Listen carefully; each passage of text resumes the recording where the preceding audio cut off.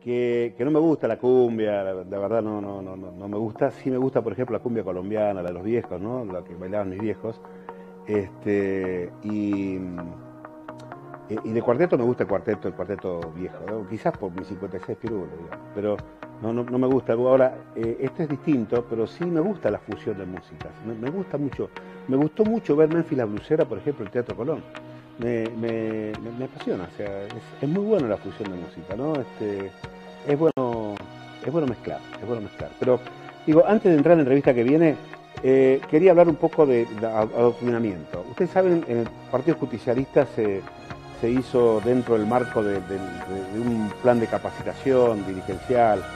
Eh, apareció un pibito, un chico con un papel, con un diploma, no sé, la verdad no sé qué lo que es.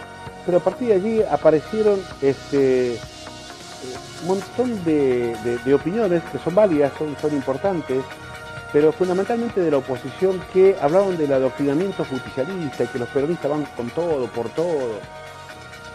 Y, y yo me acuerdo, yo nací el 25 de mayo de 1965. Y el 24 de diciembre de 1965 fui bautizado en la iglesia de Santa Lucía. El padre González, el tío González. A los cinco años eh, entré a primer grado al colegio Don Bosco y salí con 17 años del colegio Don Bosco.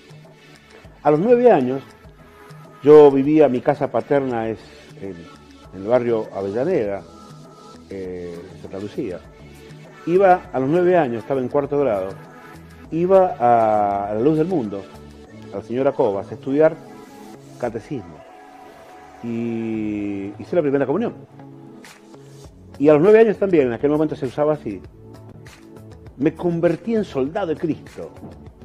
Claro, porque me confirmaron. Yo no tenía ni idea de qué lo que era, pero era soldado de Cristo.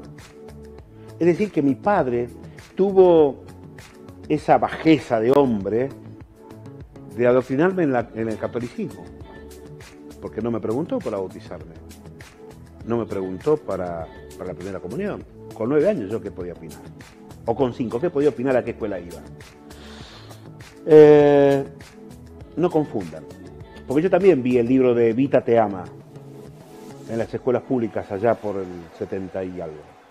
Eso sí estaba mal, porque lo llevaban a las escuelas donde vos llevabas y depositabas a tu hijo para estudiar.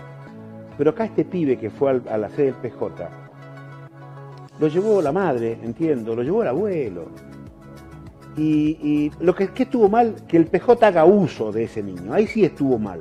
Pero que el niño vaya, eso no es adoctrinar, porque de última está la responsabilidad. Miren, no debe el Estado tanto cubrir la responsabilidad de los padres a quienes se...